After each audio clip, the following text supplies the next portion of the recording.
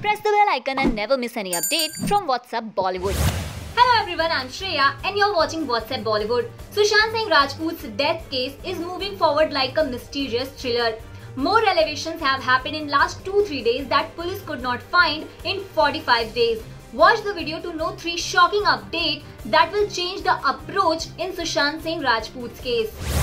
First update is about what happened on the night of Sushant's death.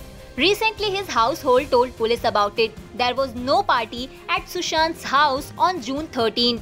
And like every day, he wake up in the morning of June 14th, the day he allegedly committed suicide. The actor was in his bedroom after having dinner on the night of June 13.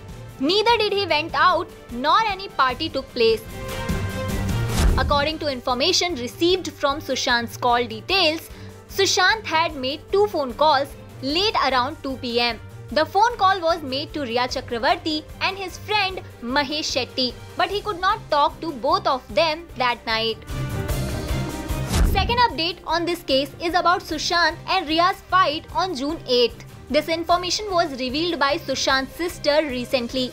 Sushant's sister Meetu Singh had told Bihar police that the actor and Rhea had a fight on June 8, after which the actress left his house with some of his belongings like the laptop, credit cards, and jewelry. After this, Meetu tried to console her brother and stayed with him for 4 days. Third and biggest update Sushant's fitness trainer has revealed how Sushant was on an unknown medication and has changed after he met Rhea. The trainer says that the lead actor Sushant Singh Rajput had changed after Rhea Chakraborty came into his life. Sushant Singh Rajput's trainer Sami Ahmed made another shocking revelation that the doctor who prescribed medications to the late actor did not do any counseling session with the late actor and had no idea about the actor's depression.